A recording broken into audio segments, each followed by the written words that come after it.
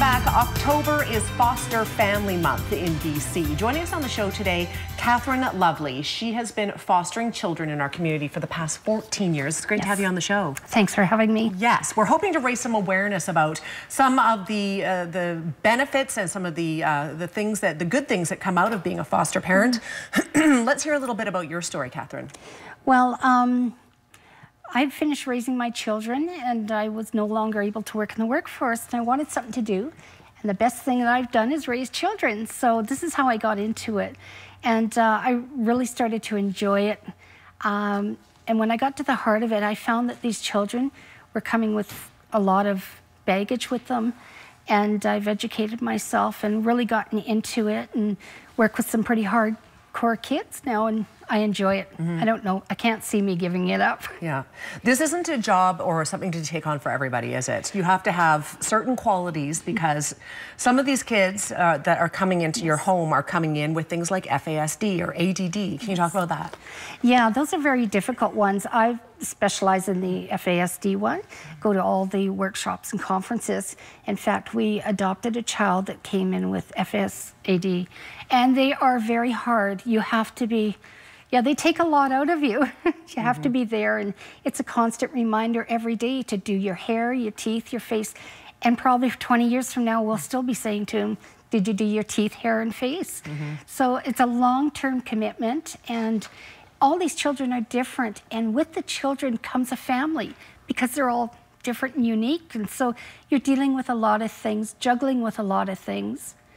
So for people who are thinking about seriously getting into this, um, you don't have to sign on for somebody to come into your house full time. They're also looking for respite and relief yes. workers. Yeah, and that's what I su would suggest. If you're not ready to jump into the pot, maybe um, get a little taste of it by doing some respite and uh, relief work where you're taking on what you want in your home or go to a home for a short period of time. Uh, let's talk a little bit about the fact that um, right now in Kamloops in our region, there's 119 active foster homes. Yes. Is this enough? Do you guys need more? Oh, it's it's never enough. We always have children coming in and, and the cries out. It seems to be one month it's a lot of teens coming in or a lot of safe babies coming in. So they're always wanting new homes so that they can readily have this mm -hmm. uh, to put them into. I know after hours even is still calling people like they call me and, and I've got no room to put them. So we're always needing homes in, in Kamloops. For you, what's the hardest part? Of fostering. um, not agreeing with something that's being done because I don't think it's in the best interest of the child. It's a hard one to come to. But what is the satisfying part of it for you? The satis most satisfying part is when you see a foster child that, that was a lot of work and you didn't get right off with them years later, they come up and give you a hug and they say, you know what? I realize now what you were trying to teach me, and, and, I thank you for that. And you've had that situation, haven't you? Yes. Let's yes. talk about one of them that you mentioned in your bio to me that uh, uh, when they came to you, they were on drugs. When they yes. left, uh, one of them went back to drugs, but yes. the other one went on to be a functioning member of society, got married, has a baby, you stay in contact. That's got to be satisfying.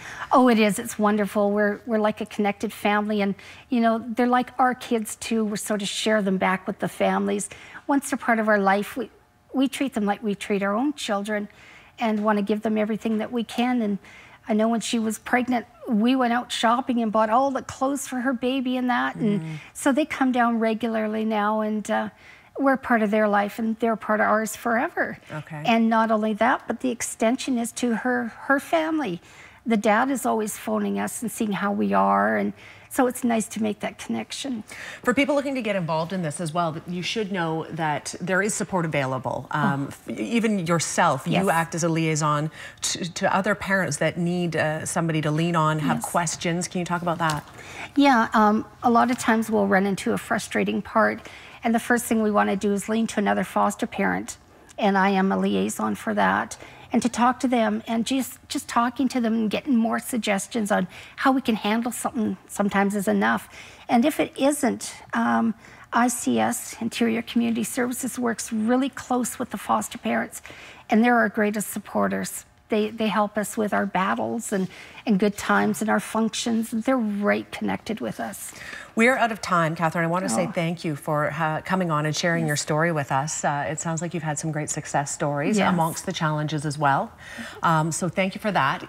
If there are people out there interested in uh, learning more about this, that website that's on the screen is a great start, as well as the phone numbers to learn a little bit more.